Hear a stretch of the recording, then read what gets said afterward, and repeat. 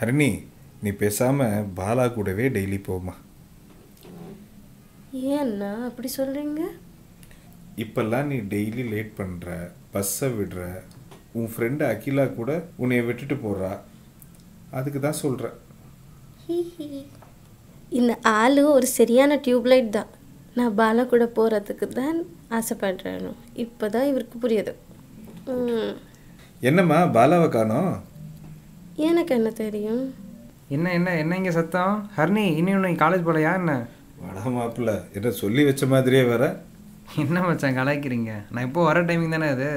ஹர்னி என்ன நீ கிளம்பி உட்காந்துருக்க காலேஜ் போகலையா? போகணும். ஆனால் பஸ்ஸாக விட்டுட்டேன். அதான் அண்ணா ட்ராப் பண்ண சொல்ல கேட்டு வெயிட் பண்ணுறேன் ஹரிணி நீ உண்மையாகவே எனக்கு தான் வெயிட் பண்ணுறியாம்மா இப்போ என்ன உனக்கு அண்ணா?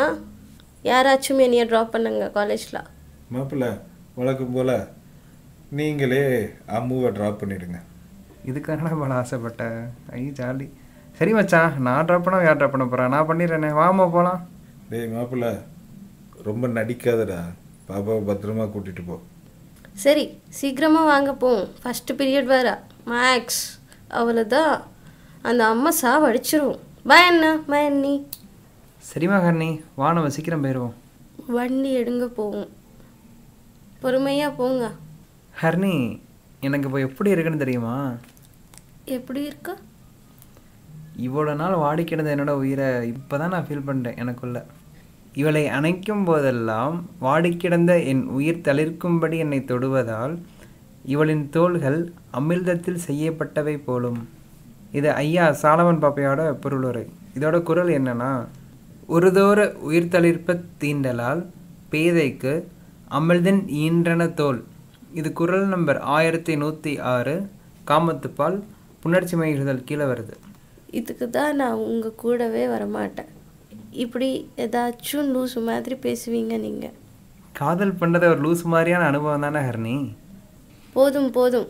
உங்கள் காதல்லாம். பேசாமல் வேலையாக பாருங்க.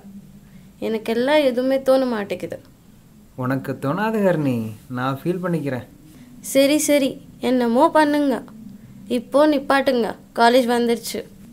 சரி சரி ஓகே ஹர்னி இன்னைக்கு எனக்கு வேலை சீக்கிரம் முடிஞ்சிடும் நானே வந்து உன்னை பிக்கப் பண்ணிக்கிறேனே. நீ வெயிட் பண்ண சாயந்தரம். ம் பாய் எங்கள் அண்ணா ஒரு டியூப் லைட்னா இவரும் ஒரு டியூப் லைட்டாக தான் இருக்காங்க.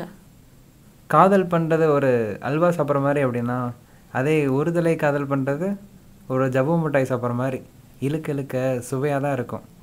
மக்களே நீங்கள் லைக்கு ஷேரு சப்ஸ்கிரைப்லாம் பண்ணிவிட்டு அப்படியே கீழே பாருங்கள் கமெண்ட் செக்ஷன் இருக்கும். அதில் போயிட்டு நீங்கள் இப்போ அல்வா சாப்பிட்றீங்களா? இல்லை ஜவ்வு மிட்டாய் சாப்பிட்றீங்களா? அப்படின்னு சொல்லுங்கள் நாங்களும் தெரிஞ்சுக்கிறோமே. By by